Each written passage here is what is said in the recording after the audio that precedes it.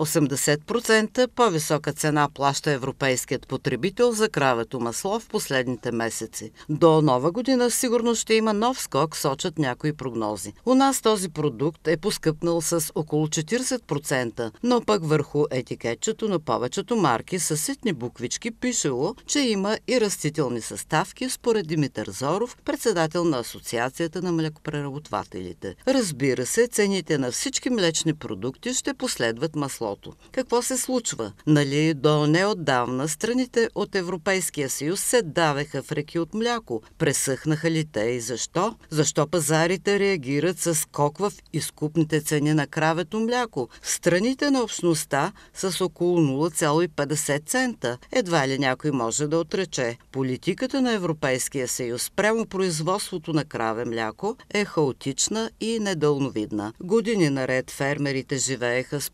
покровителството на млечните квоти. Абсолютно непазарен механизъм. Паднаха тези квоти и потекоха реки от мляко, паднаха цените. И точно когато взеха да се вдигат, дойде онова подпомагане за онези, които намаляват производството. Няма що нова пазарна мярка в кавички. Разбира се, тези средства останаха неоползотворени, т.е. пазарното поведение на стопаните се оказа далеч по-адекватно от това на брюкселските чиновници. Сегашната ситуация е провокирана и от други фактори, които са сериозни, но не са фундаментални. Например, че запасите на Китай са на изчерпване и до година ще внесат с 8% повече млечни продукти и т.н.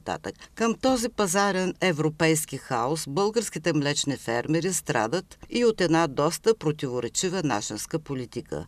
Години наред редица правителства поощряваха оглушките на фермерите да влязат в крак с европейските стандарти. То не бяха дерогации, отстъпки и накрая от Брюксел вдигнаха ръце от нас. И така до сега. Как да си обясним, например, че фермерите сега се тръжкат, че не могат да докажат с фактури необходимия минимум произведено мляко, за да вземат субсидиите за обвързаното подпомагане, а тези количества са срамно ниски и родната бюрокрация дава своя сериозен принос. Обезкървява стопаните с неадекватни изисквания, потапа ги в парадоксална бумащина, яде времето им с мотане от служба в служба. И все пак има нещо необяснимо дори за сериозните наблюдатели. В момента изкупните цени на млякото стигат на места до 80 стотинки, а средно около 70-75. Защо сега няма радост и как да се обясни факта, че произведените количества мляко до септември са повече от същия период миналата година, а цените се вдигат? Защо според някои фермери масово се ликвидирали животни?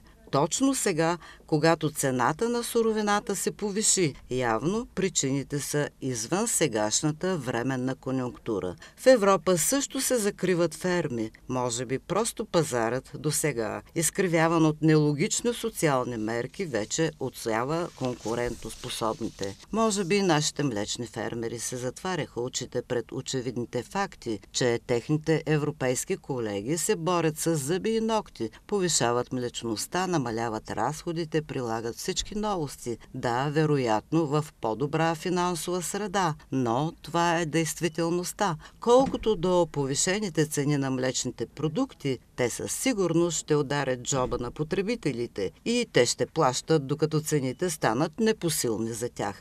И тогава, щът не щът, мандрите ще позатворят ножицата между себестойността и цената, т.е. ще трябва да се вместят в по-низки печалби. На 19 октомври еврокомисарят Хоган отново събра фермерите в Брюксел, за да ги убеждава, че ценовите трусове се поемат по-лесно от сдруженията.